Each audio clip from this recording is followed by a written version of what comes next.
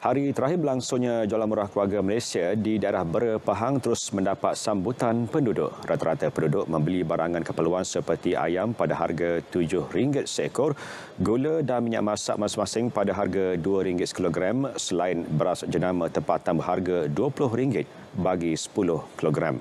Laporan lanjut bersama wartawan Ayu Nurhan Saleh. Silakan.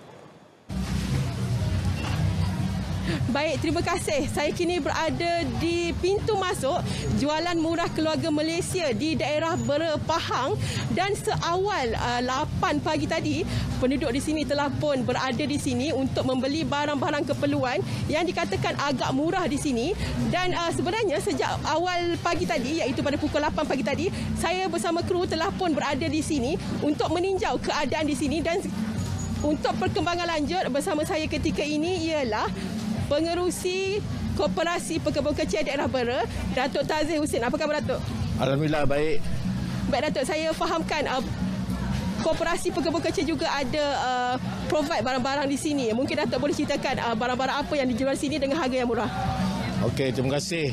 Uh, sebenarnya program ini telah bermula pada hari Jumaat. Ya, Jumaat, Sabtu dan hari ini merupakan hari terakhir lah dalam program jualan murah uh, keluarga Malaysia. Ya. Dari segi uh, pasaraya MG Kokmat, kita terlibatlah ya, dalam uh, penjualan murah uh, beras, apa ni, tepung, ya, uh, Maggi dan juga cecair, cecair uh, pencuci kain lah. Ya.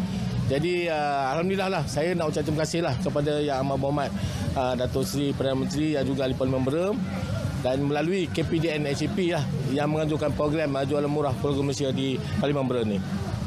Jadi uh, harga dia macam mana Datuk uh, sepanjang tiga hari beroperasi, beroperasi di sini?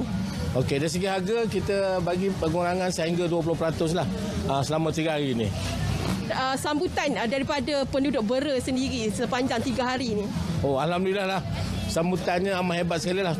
Cuba kita tengok hari ini. Ini hari terakhir. Dan Alhamdulillah lah. Mula pada pukul 8 pagi tadi dah ramai dah pengunjung-pengunjung datang untuk membeli uh, barang-barang keperluan harian lah di sini.